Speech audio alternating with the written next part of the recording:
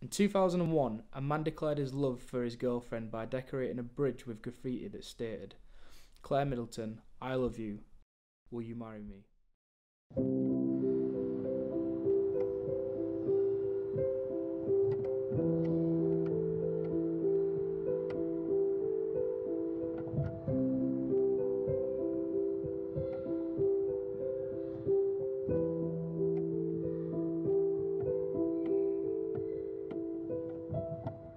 Well, I, I- mean, they, part of it has been done over the last five years. We were quite surprised when English Heritage actually agreed or almost encouraged that design. I mean, I'm, I'm so glad that after many, so many years of, of unuse, virtually since the 2000, you know, I'm glad that some of it's been brought back to use. Uh, but it doesn't have the, the, the traditional, well, they, tend to use the word brutally, the Corbusier idea. I mean, if you look a- across there, you can see every third tier there is an open deck, and that was that was critical to the, the design. And, and like most flats that were just little more than a, a pushchair wide, they're at least ten feet wide, and things like milk floats and little shop little shopkeepers used to come round with battery floats, and they, they went up in the goods lift, um, and then they just went along the decks. Although there was a shopping centre on the ground floor, pe- people actually could just get their loaves of bread and their milk delivered to, to the doorstep. On Jason and Claire's one year anniversary, he took her out on a date to the Roxy's Disco, which is now the O2.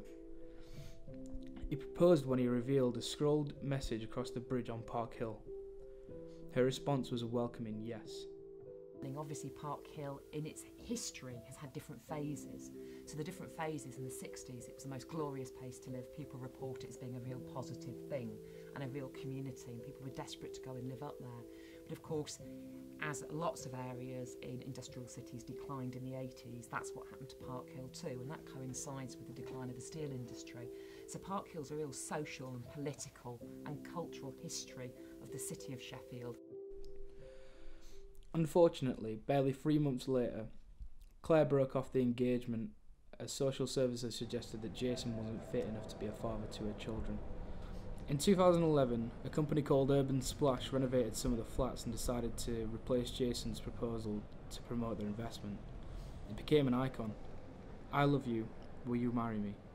It could be found written in the same style on sale posters, cushions, in the flats themselves, a brand of beer, and even glass office doors. Urban Splash is obviously the company that's got involved in regenerating uh, Park Hill as an estate. So, on one level, I think it's great that they're tying into something that's part of the building and the culture and the community. But on another level, they've anonymised it and they've made it very much about selling. But if Urban Splash hadn't come along, we'd have lost, I think by now, the whole lot would have been demolished. Urban Splash then added neon lights over the text, showing the message to the whole city as a brightly lit, seemingly romantic message. However, for Claire's family, they are reminded every day that she sadly passed away at the age of 30. I know Claire's sister had issues with the graffiti full stop, especially after her sister has died in her early 30s. So for her, it's part of her life that she's constantly reminded of that's difficult for her. As for Jason, he unfortunately became homeless. Understandably, he asked Urban Splash for a flat, considering his work was hugely successful for promoting them. This was not provided to him. Instead, a now broken and desperate Jason was offered some of their brand of beer. This was also quickly withdrawn because of sales in the office that had run out.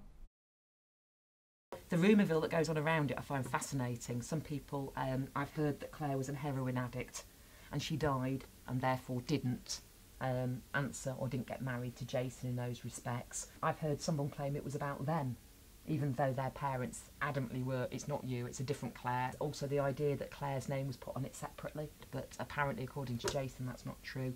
Well, yes, I mean, it was obviously requited, unrequited love. Um, so somebody was obviously proposing, possibly on Valentine's Day, I don't know, but it, it's become part of Sheffield folklore.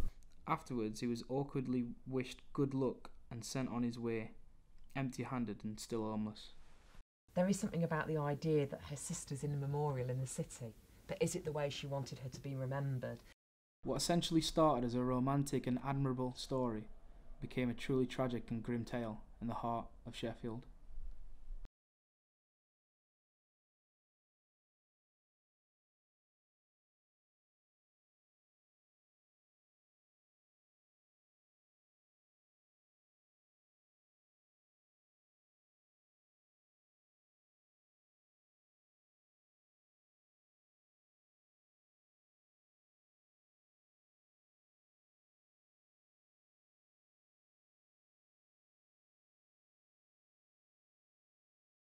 You